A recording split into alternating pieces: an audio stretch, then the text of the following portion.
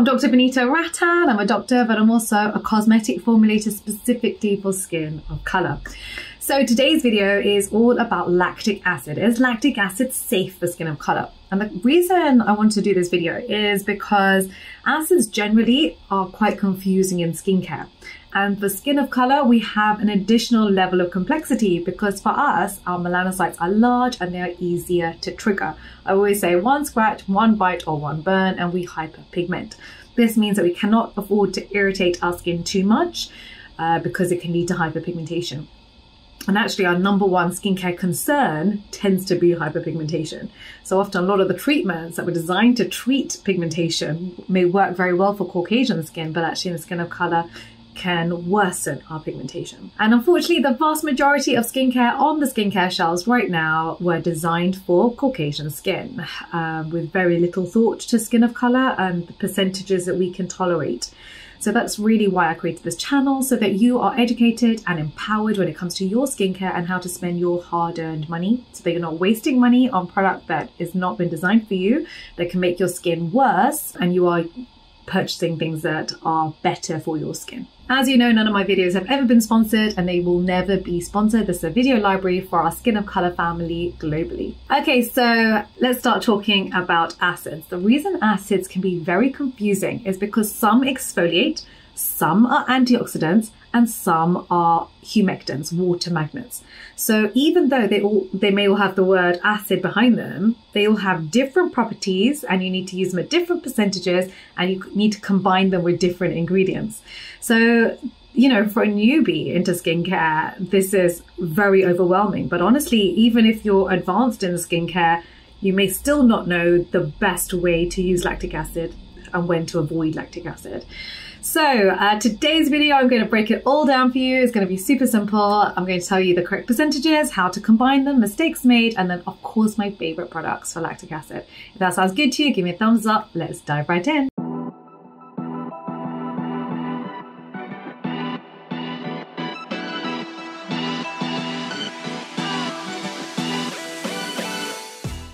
So lactic acid is part of the AHA family, the alpha hydroxy acid family. Now the other ones that we hear about a lot would be mandelic acid um, and glycolic acid. So mandelic acid is the largest molecule. It has the largest molecular weight, which means that it is excellent for skin of color because it's very safe. It travels very slowly through the skin and so very rarely leads to burns or irritation. So that's my favorite AHA. Lactic acid is my second favorite AHA because there are many benefits with it. It is hydrating, it helps with wrinkles, and it helps with hyperpigmentation. Um, but it is a slightly smaller molecule than Mandelic, so it's going to be a little bit more irritating on the irritancy profile. Um, but I still love it for skin of color. Glycolic acid, think of glycolic acid as my least favorite AHA, even though it's the most popular on the shelves, and that just reflects why so many products on the shelves are not ideal for skin of color is because it has the smallest molecular weight and can fly through the skin rapidly and can lead to hot spots. So sometimes you can get burns, which can lead to pigmentation, or it can damage the skin barrier. And I'm not saying this is all the time at all. Some people use glycolic acid and are absolutely fine, you know, for years. It's just my least favorite. So if you can choose and they all cost the same and you have equal availability, I'm always going to opt for mandelic or lactic over glycolic. So how does lactic acid work? Lactic acid is a chemical exfoliator. It literally dissolves the bonds between the skin cells on the epidermis so that when you wash your face with water, all the dead skins wash away with it. You don't get any peeling as such with it, uh, especially with over-the-counter lactic acid exfoliators, but your skin will look brighter. And the reason why I prefer chemical exfoliators over physical scrubs is because physical scrubs, you are not just removing dead skin cells, you are also removing alive cells, living skin cells, which can lead to sensitivity and micro tears. So these are not things that I would want for my skin of color family. So I always opt for chemical exfoliation. Now, as I've already discussed, there are many benefits when it comes to lactic acid. It helps with melasma or hyperpigmentation. It helps with wrinkles or fine lines. It removes dead, dull skin, so your skin glows more.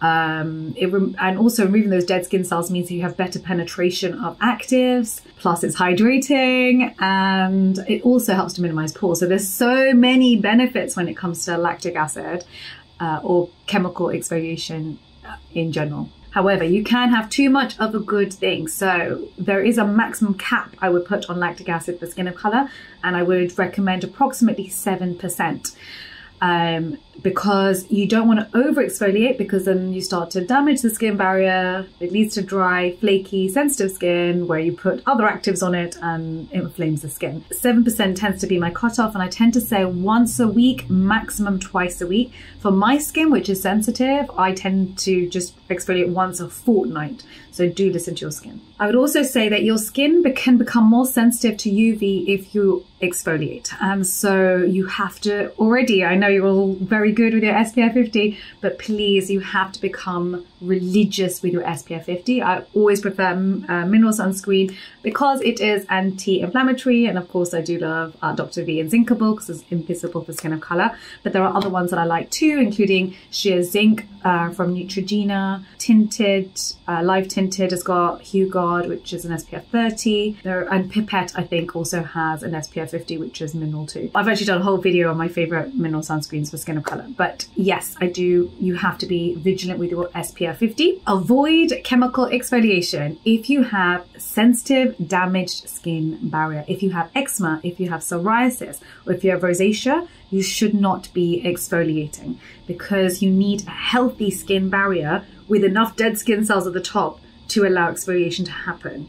Otherwise, you you end up in a vicious cycle where your skin is not able to function properly and you actually lose even more water and your skin becomes damaged even more rapidly. Now, after you've exfoliated with your lactic acid, I would recommend that you use non-irritating ingredients, ideally antioxidants or tyrosinase inhibitors, because those tend to be the ingredients that we require for skin of color, especially as we age.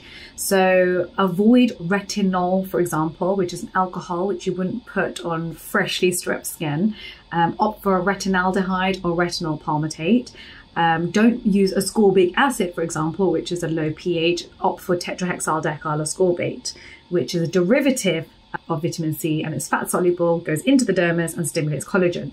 So just be a bit careful and mindful of the ingredients that you put on after you have exfoliated with lactic acid. I would recommend a Nafe Safe Fatty Moisturizer afterwards and then in the morning don't forget your mineral SPF 50. Okay, so I'm going to go through my favorite lactic acid products that are on the market right now for skin of color. And this is my criteria that I look for in the ideal lactic acid exfoliator. So I've already said it should be less than 7%.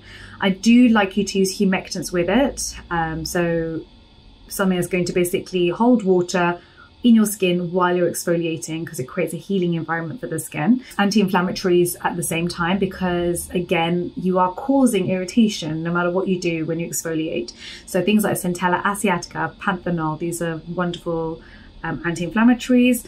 And honestly, it was very hard. When I looked at what's available, the perfect exfoliator for skin of color just actually doesn't exist. You're missing one or two of these key criteria that I would want for my face.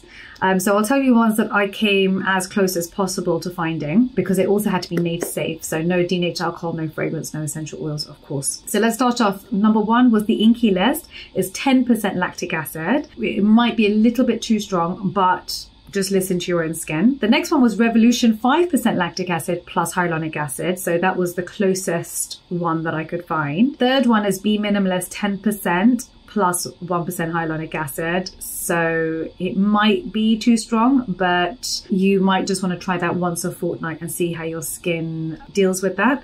So for me, I when I was formulating Exfoliate to Glow, now for me, for my skin, I have sensitive skin, I am prone to melasma, I tend to get dull skin, especially if I haven't been good with my skincare and actually my perfect exfoliator didn't exist. So I created Exfoliate to Glow just for my own face, which was 5% Mandelic, which is not as effective as the 5% lactic acid. So I did both together, 5% plus 5%, plus 7% glycerin in order to create that healing environment while I know I'm exfoliating. Um, and that for me is is ideal because it's gentle but effective, which really is that fine balance that we need to walk with skin of color. Don't forget, I'm in the comment section for one hour at the launch of every single video. Don't forget to download your free guide for skin of color. The link is down below. Please do follow me on Instagram at uh, Dr. Vanita Rattan and Skincare by Dr. V. I've got two accounts. And also on TikTok, Dr. Vanita Rattan too.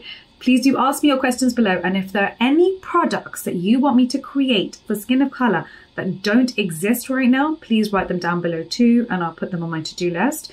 Um, I'm not going to create products that already exist. I'll just tell you to go and purchase that because it's a huge uh, stress for me.